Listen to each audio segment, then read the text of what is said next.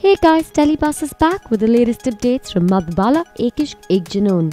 The mega show completed 300 episodes a couple of days ago on 17 June 2013.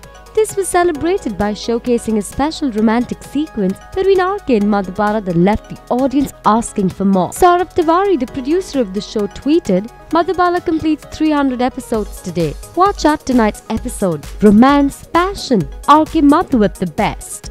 Madhubala's always captured the hearts of the audience. The 300th episode was a memorable one for all the viewers, where RK was wooing Madhu with the sexy dance moves and grooves. The episode was so well received by the viewers that Colors TV tweeted a thank you note.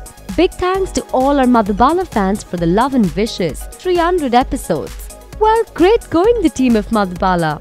Telebuzz wishes them hearty congratulations. Well, leave your thoughts about the remarkable achievement and surely like the video if you love them. Do not forget to subscribe to Telebuzz for more daily updates.